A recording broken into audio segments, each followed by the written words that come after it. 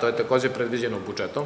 Sad se donose odluke koje regulišu tu materiju na jedan precizan način i na raspodelu uh, onih prevoznika koji to vrše.